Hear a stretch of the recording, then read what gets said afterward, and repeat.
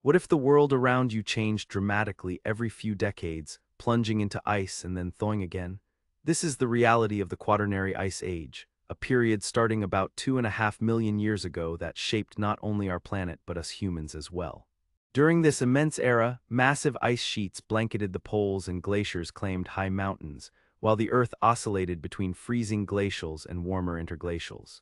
Even today, we live in a warm pause called the Holocene, nestled within this ice age that has dramatically influenced landscapes, animal life, and human evolution.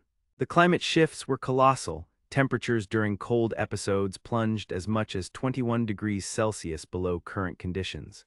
Sea levels dropped hundreds of feet, exposing land bridges that allowed animals and humans to travel to new regions.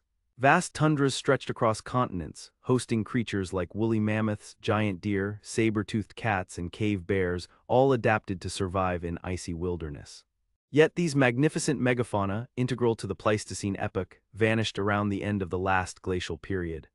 Warmer climates squeezed their habitats, and human hunting pressures increased their vulnerability, culminating in a profound extinction event that profoundly transformed ecosystems. Humans themselves evolved under these relentless conditions. Rapid changes in climate demanded flexibility, those who could adapt to forests, grasslands, and icy steppes thrived. Migration routes opened with shifting landscapes, including corridors through Europe and Saharan green belts, encouraging the spread of Homo sapiens beyond Africa. Meanwhile, close relatives like Neanderthals declined amid these environmental upheavals. The story of the Ice Age is deeply intertwined with our own origins, a tale of survival amidst a fluctuating planet.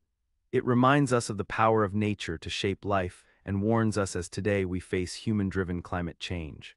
Enjoyed the video, give it a thumbs up and don't forget to subscribe to the channel for more. See you in the next one.